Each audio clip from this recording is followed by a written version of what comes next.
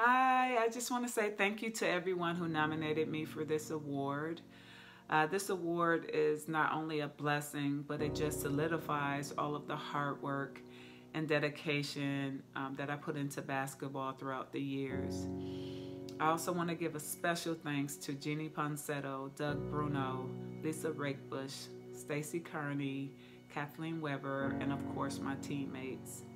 Um, just to give you a little background on myself, I was born in Michigan in a small town called Flint. And there were not a lot of opportunities there. So I kind of made it my mission to use basketball as my way out.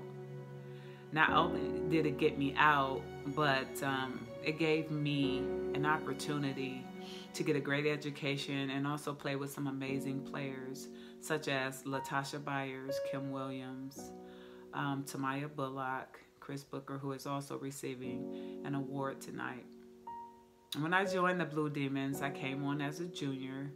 I had played two years at John A. Logan College um, in Cartersville, Illinois. I was named All-American. Um, I was a player that kind of that played with confidence, but it was something about DePaul that made me nervous. But I thank God that Doug and his coaching staff allowed me to be me. They allowed me to display my talent while learning and growing as an individual. Uh, DePaul's basketball program um, opened a lot of doors for me. I went on to play in the WNBA and also I played 13 years overseas in various countries my overall experience with DePaul was amazing. We had some good times and we had some tough times.